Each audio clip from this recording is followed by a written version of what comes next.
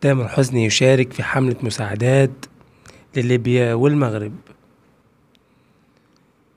دعا النجم الكبير تامر حسني جمهوره للمساهمة في مساعدة الشعب الليبي والشعب المغربي بعد الإعصار اللي حصل خلال الأيام اللي فاتت من خلال جمعية الهلال الأحمر.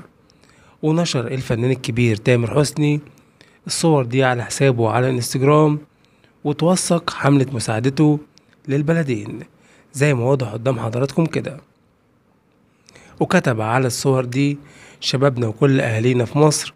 طبعا كلنا شفنا اللي حصل في المغرب وليبيا. وأكيد كلنا في أشد حالات الحزن ونفسنا نعمل حاجة. وكمل كلامه قال اللي قادر يساعد جزاه الله خير. وتعالى وساعدنا ونساهم معانا إن إحنا نساعد إخواتنا في المغرب وليبيا. شكرا لكم متابعين القناة. أتمنى إن الفيديو يكون عجبكم وأتمنى إنك تشتركوا في القناة دلوقتي حالا وتفعلوا زر التنبيهات علشان يوصلكوا كل جديد.